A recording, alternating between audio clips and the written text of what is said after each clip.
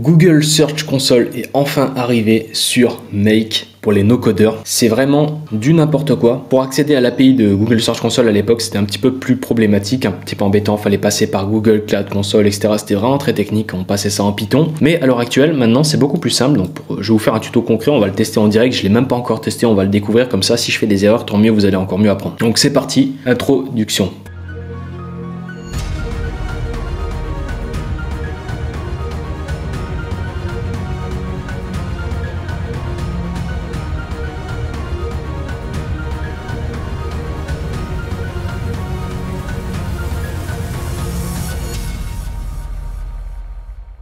Ok, donc j'ai fait un petit plus hein, pour euh, faire un petit point aussi. Il y a eu une mise à jour de, Make. Donc là, on fait plus sur un nouveau scénario. Ça a totalement changé. Il y a des nouvelles interfaces, des nouveaux icônes. C'est un petit peu compliqué maintenant parce que on était habitué à vraiment toujours avoir le même icône. Maintenant, dans les tools, dans les dans les tools, les agrégateurs et tout, tous les logos ont changé. Mais bref, c'est vraiment une, adaptation rapide. Hein. Ça va pas prendre beaucoup de temps à s'adapter.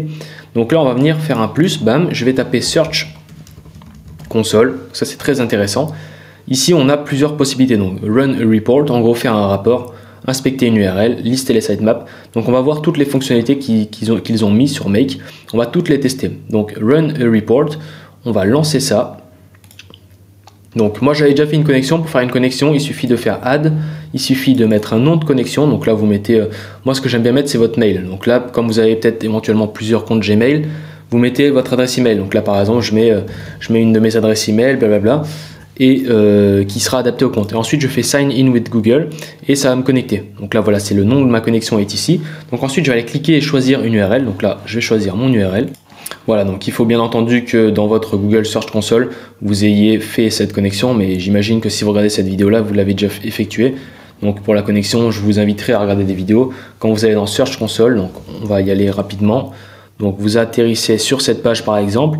En fait, vous allez faire cliquer ici, donc les trois petits points et vous allez faire ajouter la propriété. Et ensuite je vous invite à regarder d'autres vidéos qui vont vous expliquer ça rapidement. Il suffit juste de mettre une connexion TXT ou CNAME c'est extrêmement rapide. Ou de faire avec une extension WordPress.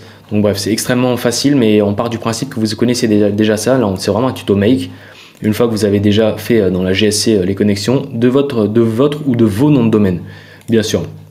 Donc le site est bien sélectionné. J'ai mis mon site Furibiz qui euh, propose des formations IA automatisation donc maintenant, on a un start date et un end date, ok? Donc ensuite, on a quoi? On a des dimensions, donc on pourra choisir la date, le pays, query, country, device, search appearance. Donc en gros, concrètement, dans les paramètres de Search Console, ça c'est la date, ça c'est query, ça va être les mots-clés, euh, les pages, donc les URL, ça va être euh, country, ça va être le pays, device, ça va être les appareils, donc est-ce que c'est ordinateur, est-ce que c'est mobile ou est-ce que c'est tablette, search appearance, ça va être euh, alors, euh, je ne sais plus ce que ça va être, on va le tester. On a type web, image, vidéo, news, discover, Google News. Ok, donc on va rester en web. Agrégation auto par page par propriété. Euh, data state. Donc, vous voyez, il y a quand même pas mal de data à rentrer. On va tout tester. Donc, on va faire une petite formule qui va nous permettre de choisir la date donc de start et de end. On va venir mettre donc la formule de date. On va venir mettre un format date. Donc on, va, on peut rester dessus hein, pour regarder, ça j'explique tout dans ma formation, toutes les formules, je vous explique tout de A à Z. Donc on va mettre un euh, donc format date et un add date. Donc tac tac tac. Donc euh, add days, pardon. Add days format date. Donc normalement ça va être comme ça. Ce que je vais faire, c'est que je vais faire donc je vais mettre un, un now ici. Alors j'espère que c'était ça. Ça fait un petit moment que j'ai pas fait de formulation. ça va être le now d'abord donc now et ensuite je vais lui donner le format.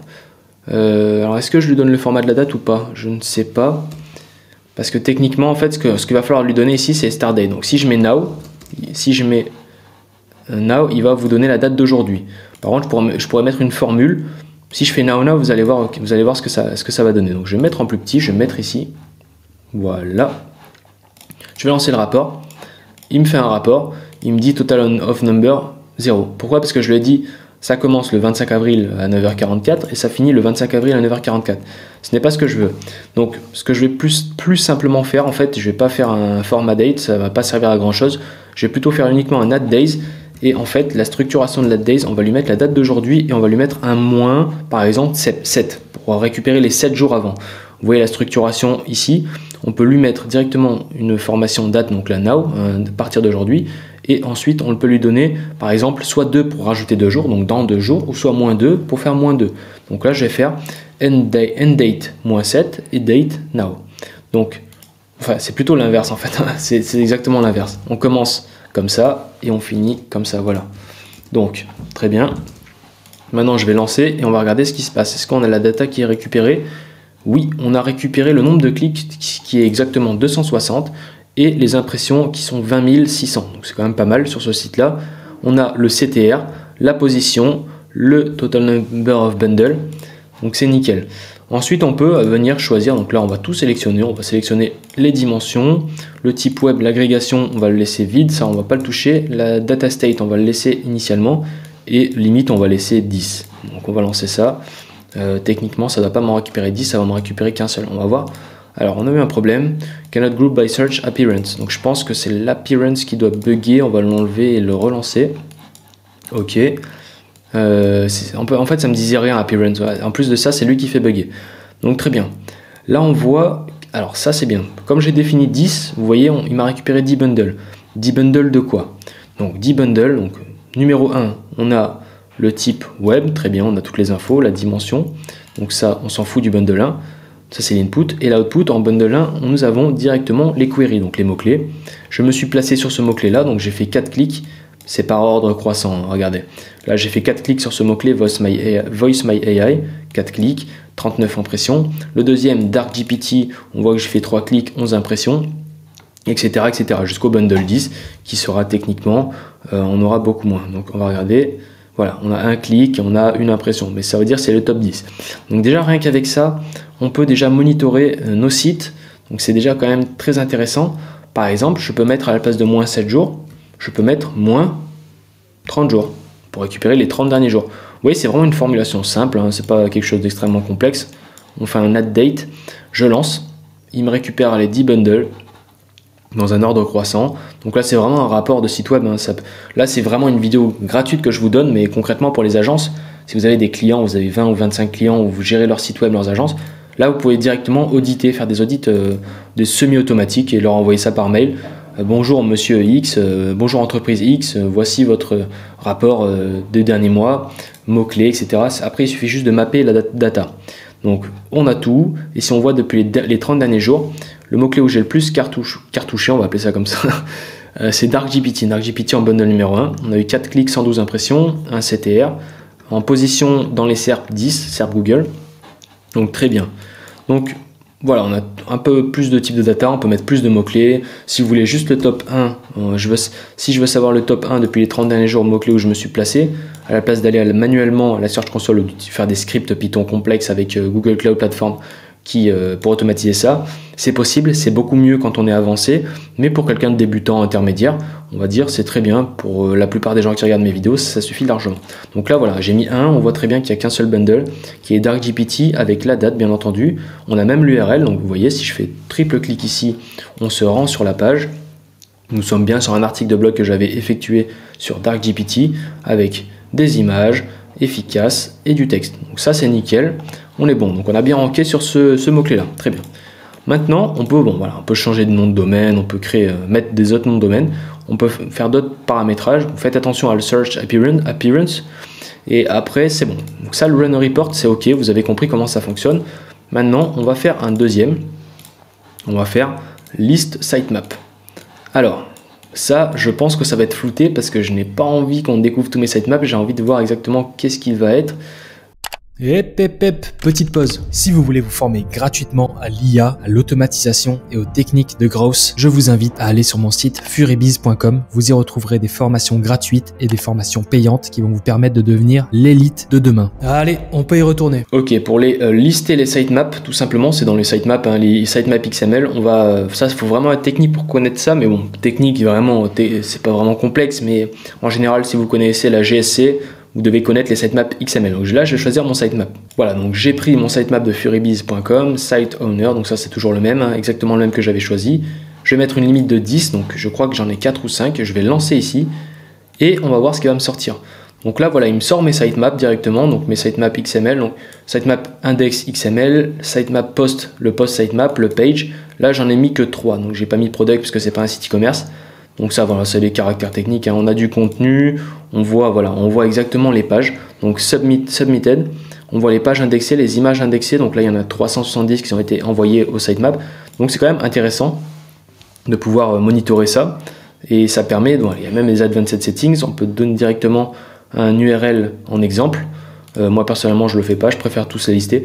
C'est pas quelque chose que j'utiliserai beaucoup, mais c'est toujours intéressant de savoir qu'on peut faire ça. Ensuite on a get a sitemap. Donc techniquement je pense que ça va être logiquement un get euh, qui va être juste après. Alors attendez, je vais quand même le séparer au cas où. Je vais venir choisir le bon, site. Voilà. Ok, maintenant on a sitemap URL. Donc là par exemple, je vais venir choisir, donc je vais, on va faire un get. Je vais venir choisir le sitemap, euh, le sitemap des posts. Voilà. Ok, je vais run ça et il va techniquement donc content one. Ok, donc il me récupère pas les pages dans le sitemap. Il y a quand même d'autres outils pour faire ça mais il me dit exactement, il me donne toutes les informations du sitemap. Je les avais juste avant, mais là en fait c'est uniquement sur un seul sitemap. Peut-être que je vais focus sur le sitemap des articles de blog, donc des posts, et du coup je vais avoir la data des, des submitted, euh, etc. Enfin des, pages envoyées, des images envoyées, euh, sous forme de collection. Ok. Donc ça c'est opérationnel, donc très bien. Bon, c'est pas quelque chose que j'utiliserai.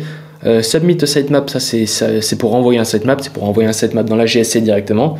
Personnellement, je le fais sur la GSC, euh, je n'ai pas encore automatisé l'envoi des sitemaps ou en Python, mais pas en no code, hein, je trouve que c'est une perte de temps. Delete des sitemaps, c'est pareil, on peut les supprimer une fois qu'ils sont envoyés. Donc, je vais te montrer directement où est-ce que c'est les sitemaps, tu vas voir. Donc là, je vais aller ici. Techniquement, quand je lance un site, je vais lancer mes sitemaps. Bon, c'est pas un tuto GSC, hein, mais je vais venir donner souvent, mais voilà, directement, boum, sitemap index, le post, la page. Si c'est une boutique e-commerce ou e-commerce par exemple, je vais venir donner le product, sitemap XML, etc., etc., etc. Et puis ensuite, on a les autres sitemaps. S'il y a plus de 1000 articles, on a un, on a post 2, etc. bref, ça c'est pour ceux qui aiment bien fouiner dans les sitemaps. Je pense qu'il y en a d'entre vous qui, qui voient de quoi je parle. Ensuite, on a inspect URL. Alors ça, je ne sais pas du tout. J'ai même pas envie de lire, j'ai envie de tester en fait. Je suis comme ça, moi j'aime pas, j'aime bien tester direct. Alors, on va aller tester ça. On choisit le site URL. Voilà. Inspection URL, langage code. Donc là, par contre, on a les langages. Donc je vais mettre français France. Inspection URL. Ah, d'accord, il faut lui donner une URL. Alors, ce qu'on va faire, c'est qu'on va aller sur le site, euh, mon site Furibiz, et on va aller donner un lien, enfin une URL d'un article. On va aller sur blog et on va aller sur, euh, par exemple, allez, celui-là, Sonoto, peu importe. Sonoto, on va lui donner l'URL. Ça peut être bien si on veut se focus sur une page. Alors, qu'est-ce qu'on a comme data? C'est ça que je veux savoir concrètement. Donc, ça recharge, ça mouline. Plus le logo, je le trouve propre, il est, bien, il est clair. Ok, donc là, on a donné le lien d'inspection, très bien. Index euh, status result. Là, c'est intéressant. Voilà, là, je pense que vous allez être content quand vous allez voir ça parce qu'on voit exactement la data. Coverage state on voit que cette page a été envoyée et indexée. On voit que le state, c'est un, successful, le, fetch state, donc c'est-à-dire qu'elle a été bien autorisée et indexée par les robots TXT. Elle n'est pas, pas masquée en quelque sorte. Et on a toutes les datas, donc champ de recherche associé, item, éléments sans nom. On récupère tous les datas de la page. Mais bref, ce qui nous intéresse par exemple, éventuellement, quand on, quand on a 10 pages vraiment importantes qui nous font 90% de notre trafic, ce qu'on veut savoir, c'est ok, est-ce qu'elles sont bien encore indexées et tout. Et ça, ça peut être vraiment pas mal. Donc ça, c'est opérationnel pour la GSC, très bien. Et ensuite, on a Make an API Call. Donc là, donc là vous êtes euh, en, dans un mode Google Search Console API. Si vous voulez passer au niveau supérieur, donc soit faire des calls API euh, par euh, Make, mais concrètement, si vous êtes à ce niveau-là de faire des calls API, je vous invite fortement de développer ça en Python. Vous ne serez pas limité en opération et vous allez pouvoir bombarder. Donc Search Console API, voilà, donc je ne sais pas s'ils ont une documentation, on a la documentation sans se connecter. On va lire la doc un peu. Euh, API reference. Alors peut-être que c'était celle d'en dessous, je pense qu'on doit... Voilà. Donc ça, je vais le décaler. On a euh, les queries, ok, on a tout, les sitemaps. Vous voyez, on a des requêtes delete, get, put. On va avoir les posts, on n'a pas de patch, mais on a déjà ce qu'il faut. Pour les sitemaps, voilà, on peut aller lire l'aperçu. On va avoir directement euh, les informations. Donc là, on a les strings, les booleans, les datetime, etc. Toute la documentation est là. il suffit, donc là je vais aller dans les get par exemple, si je veux récupérer de l'information, qu'est-ce qu'on peut get, On voit get Google Apps 6, Webmaster 3, l'URL de votre site et le feed path. Le feed pass, donc ok. Euh, on a quand même pas mal de choses à faire avec l'API, c'est quand même plus intéressant, moi je trouve, de passer par là, même si c'est plus complexe, mais on n'a pas de limitation d'opération make. Donc c'est quand même très cool. Donc après, voilà, je vous invite à analyser la documentation API ou d'utiliser des GPTs. Il doit y avoir des GPTs euh, qui font ça. Mais concrètement, voilà, il y, a beaucoup de choses à faire. Donc, concrètement, si on devait retenir le 80-20, je dirais faire des rapports, on garde, on fait des rapports de site. Donc on peut très bien, conseil, euh, conseil d'amis, je vous dis, vous faites ça, bam, bam, bam, bam, vous clonez, vous avez trois sites, voilà. Euh, mon site, site 1, vous mettez les NDD à chaque fois, vous balancez tout ça et à la fin vous mettez un email ou vous mettez directement un email, create un email, ou vous envoyez un email, ok rapport site 1, site 2, site 3, les rapports sont ok. Ça je le fais depuis quelques semaines et ça vous permet d'avoir une visibilité, soit dans, un tableau HTML ou soit directement au brut comme ça. Hein. Ok. Euh, get le sitemap, ça je l'aurais enlevé du 80-20. List sitemap, je l'aurais enlevé du 80-20 parce que ça c'est vraiment quelque chose de, vite fait à faire. Ça je l'aurais enlevé parce qu'il sert à rien. Et inspecter une URL, voilà, j'aurais fait exactement pareil. J'aurais cloné, J'aurais fait une automatisation par site, et là on a le site 1 par exemple, site 1, URL, URL 1. Site 1, URL 1, site, toujours site 1, URL 2, euh, et on aurait une seule automatisation qui vous donnerait directement chaque élément de votre site 1, chaque URL important de votre site 1. Et bien entendu, le CTRL Z n'existe pas sur Make, c'est très dommage parce que je ne peux pas revenir en arrière. Donc voilà, j'aurais gardé le rapport et l'URL. À vous d'en faire ce que vous voulez. Si vous avez encore des difficultés à comprendre Make, à l'utiliser, je vous invite fortement à aller dans la description. Vous avez le lien, donc ça va être le premier lien formation, formation automatisation sur furibiz.com. Et quand vous arrivez sur furibiz.com, vous avez ici un petit menu et vous avez deux formations principales, donc ChatGPT et Make Automatisation et des bots. Si jamais vous êtes un peu plus avancé et que vous voulez utiliser des bots pour automatiser vos tâches, vous cliquez sur Make Automatisation et vous avez la formation de Make complète. Donc vous avez toutes les informations concrètes, une vidéo qui vous montre ce qu'il y a dans la formation et vous avez même le plan complet donc de toutes les vidéos que vous allez avoir pour pouvoir maîtriser Make et l'utiliser pour comprendre ce que je viens de vous expliquer. Donc j'ai fait vraiment une vidéo intermédiaire, pas débutant. Donc voilà, c'était mes idées. J'espère que ça vous a plu. Dites-moi en commentaire ce que vous avez pensé. Likez, partagez, abonnez-vous, ça me ferait vraiment plaisir. Ça m'aiderait pour le référencement. On se dit à très vite. A plus.